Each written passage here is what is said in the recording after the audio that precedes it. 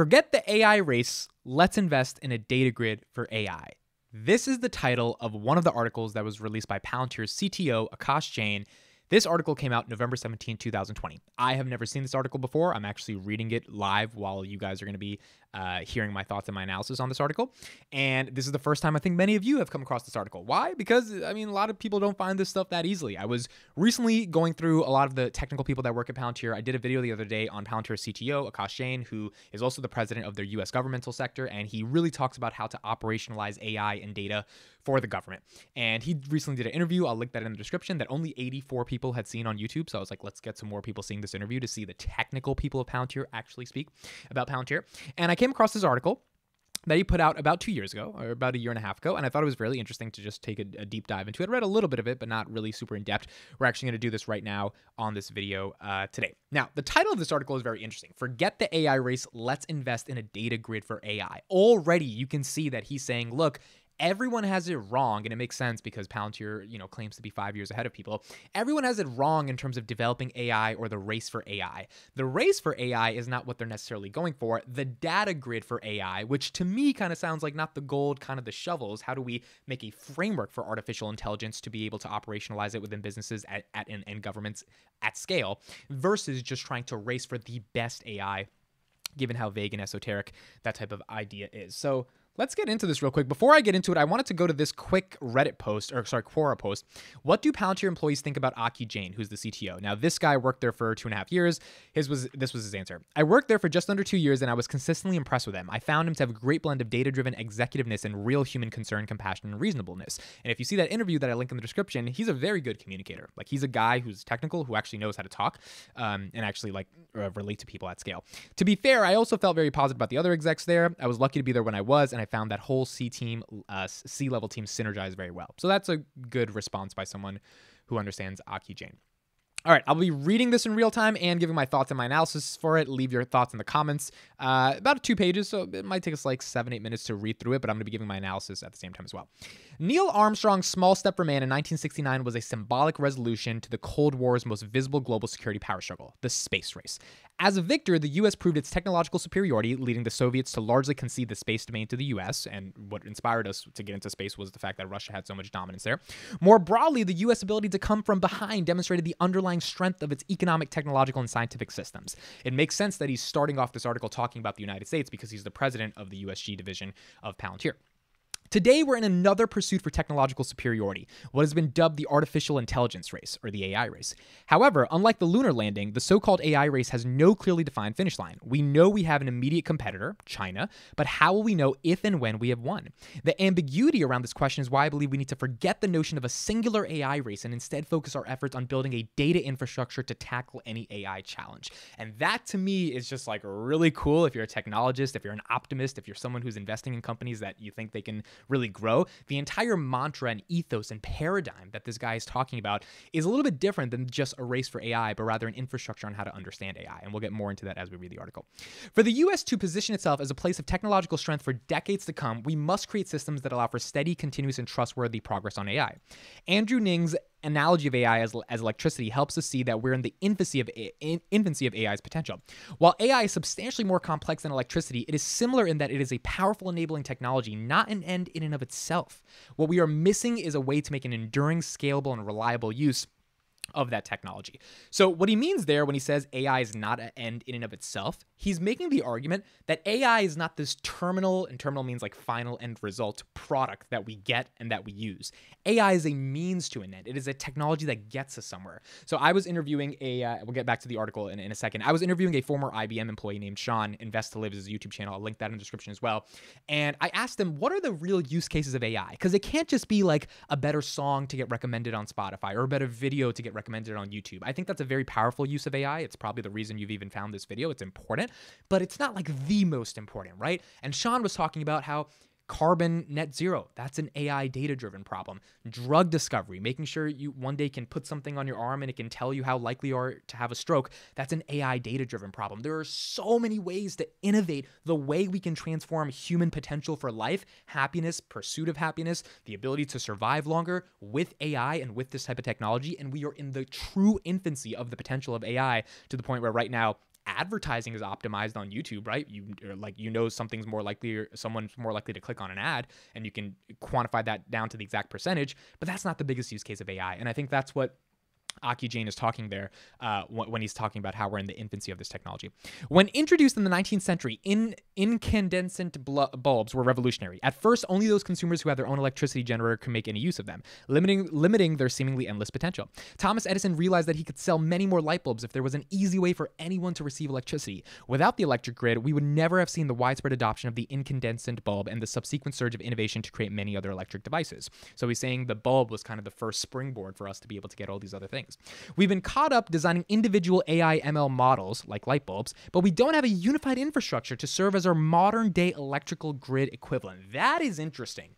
A modern day electrical grid is fundamentally different than just a cog in the machine, which is like the light bulb in the grid. A grid is an infrastructure, a framework that allows electricity to flourish at scale and obviously allow more innovation. So it's interesting to see how he's going to make that uh, comparison for AI. One particular compelling reason to invest in such an infrastructure is that AI models aren't something that can be sprinkled around to make any project better. Most AI models deployed today are quite brittle. They have de- they have been developed and trained for a specific use case under specific conditions. Once deployed, model performance and quality may degrade quickly as the data environment evolves. Further, throwing a model at an adjacent problem without retraining it usually does not work that makes a lot of sense as well. AI driven models are based upon the data that they get to constantly relearn and constantly get trained. So if you just throw it at something without it being able to train, uh, it's not going to have that much of an effect. To give an illustrative example, an AI model for identifying pathologies in x ray films was unable to be repurposed at another hospital due to a difference in the radiology films used by different machines, and that was in a nearly identical use case. Interesting. So he's saying we had an AI model that we trained to, uh, to, to find pathologies in x ray films, and it wasn't able to be used in another use case, even though the data and the, and the technology and the purpose of it is pretty much identical. Uh, and I'm assuming it's because we don't have an AI infrastructure. To harness the value that is currently available from AI, ensuring models are continuously provided with appropriate training data and feedback to improve its, it's critical.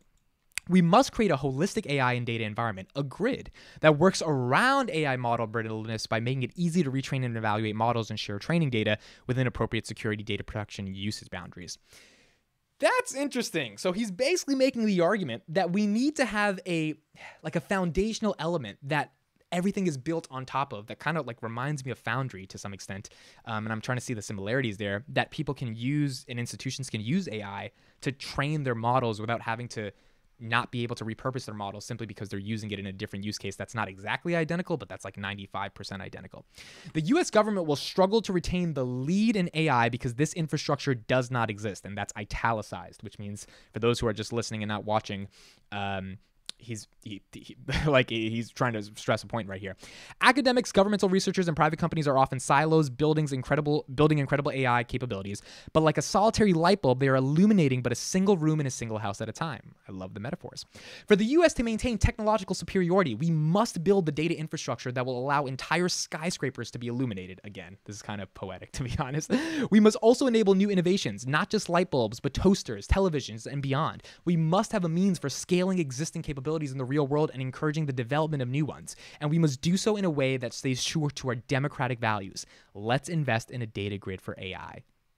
That's cool. And I'm assuming that's what Palantir, you know, this is interesting because if we'll get back into the article in a second, if Palantir is trying to create the data grid for AI, which, you know, in a nutshell, that to me means that they are trying to create network effects built on a platform, and it could be Foundry or Gotham, right? And these might be the innovations that they're coming out with later in the year in, in terms of product rollout that allow companies to be able to use their platform to build training models on top of them that don't always have to be repurposed in a different way, or that can be repurposed in a different way without losing all of the the the AI models that it that it built up for so much time getting the data to be able to train, which is the difference between the light bulb and the actual foundation then that's a really big innovation. I mean, that's a really big deal. And I'm assuming I'm, other companies are likely working on this, but it seems like Palantir and the reason the CTO published this is because there is a different um, uh, use case, especially for the U.S. government, to, to, to, to remain technologically superior to other countries to be able to develop this foundation, right? If this foundation is developed, the U.S. government can have a fundamentally superior role because they're not just chasing singularity,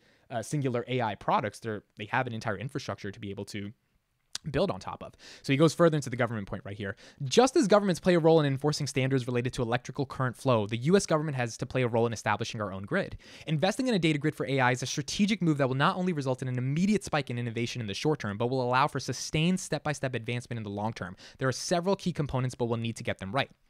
Designed for iteration, not stagnation. AI systems are learning systems that require constant iteration and feedback. We must build our infrastructure so that it can evolve. Electrical grids today are flexible to support a variety of energy sources, from solar power to coal fired generators, so too must our AI infrastructure empower AI firms and governmental programs to adapt to various systems.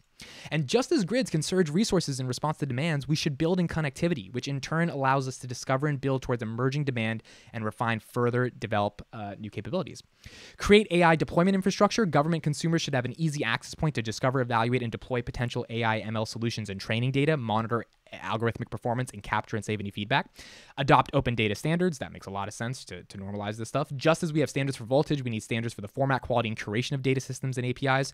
Fund an AI training data library. This is their sort of appeal to the government to fund these things. AI ML models depend on our quality of data to train and test. Large, diverse data sets to help mitigate algorithmic biases, and our government is best positioned to conduct quality assurance on this data and enable appropriate access to it. By building out this training data library thoughtfully instead of via ad hoc, disconnected efforts, our government can both spur AI development and ensure that training data sets are curated ethically and transparently.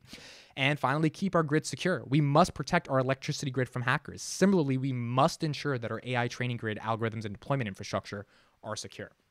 So, five elements there for what he thinks an AI grid looks like uh, designing for iteration and not stagnation, which means it's constantly being innovated upon. Create a deployment infrastructure. This to me sounds exactly like Apollo, right? Which is like the ability for companies to actually use Palantir software to ship out new products over the air in, in this like really interesting way without having to constantly do a lot of work. Adopting open data standards that builds more of the community. Fund an AI training data library. That means the government is actually putting money into like the electric grid, like the AI grid, to make sure there is constant funding for models to be able to uh, rule out biases and to learn from other pre-existing models and constantly those network effects to be able to evolve and then keeping our grid secure obviously from a cybersecurity perspective it's very important. Last paragraph Following the above guidelines in conjunction with existing calls to adhere to strong AI ethic principles and standards, we can invest in an AI infrastructure that enables not just the occasional incandescent bulb, but empowers an entire generation with access to enabling technologies that will buoy innovation and potential use cases are discovered. By investing in a grid, we can unlock the enormous potential of AI development and ensure our technological, economic, democratic, and military superiority for decades to come. And Aki Jain serves as president of Palantir USG, and he is the official CTO really really interesting article. I will link i will leave it in the description. I mean when i just saw the title of it i was like this is something that i want to read a little bit more of because i don't think most palantir people and Palantir investors have actually seen this article. Um, this, uh, if anything, to me, it shows two things. Number one, it shows how Palantir is thinking about AI, and they're thinking about it in a way that's a bit different and a bit differentiated from a lot of the other ways the companies are thinking of AI. Because if your head CTO is like, we need to create an operating system, a foundation, an ontological relationship by which AI interacts with companies, businesses, governments, etc., uh, that's a you know plus to me just in terms of the ethos and philosophy that the company has and that they're building into their products if they're thinking in this certain way. And number two is like they've worked with with the government, right, for 17 years. So they understand very intimately and deeply the problems that the government has. And this is sort of, you know, Palantir's uh, lobbying effort to some extent in, in, an article that says, hey, if we actually build an AI infrastructure in the United States, we're going to be superior technologically because it's not just building a bulb. It's not just an innovation of electricity. It's an electric grid. And what an electric grid does is allow the uh, innovations like a toaster or a television because all of these things connect to electricity. And because they connect to electricity and power, now you have innovations you can build on top of that, like the World Wide Web, where you can access video content like I'm doing right now. It is such an interesting time to be alive, to be able to create content and get people to actually be able to consume it from all around the world. That is only possible because we have electricity, and that's also only possible because we have the internet. The internet was built off electricity, but there was an electric grid, a foundation for the internet to be created. The internet had a foundation for YouTube and other apps to be created on top of that. And now we're in this new technological revolution. Imagine if that entire framework I just described was happening for AI and machine learning at scale. What innovations could we create? And what technologies could be at the center of this grid that would actually make the world much more stronger and uh, much more efficient, effective, productive, meaningful, happier than it is right now based on the innovation it could create. Really interesting stuff. Let me know your thoughts on this. Uh, leave it in the comments. Looking forward to reading them. Thank you guys for watching this video, and I'll leave this article in the description if you guys want to check it out. Thank you for watching. Looking forward to your comments. I'll see you guys in the next one.